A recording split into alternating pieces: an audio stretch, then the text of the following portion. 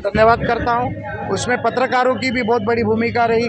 जिस तरीके से लोकसभा में नेरेटिव सेट करने का काम किया, उस नेरेटिव को ख़त्म करने का काम आप जैसे मीडिया ने भी किया तो आपका भी, प्रशासन का भी सबका धन्यवाद मानता हूँ।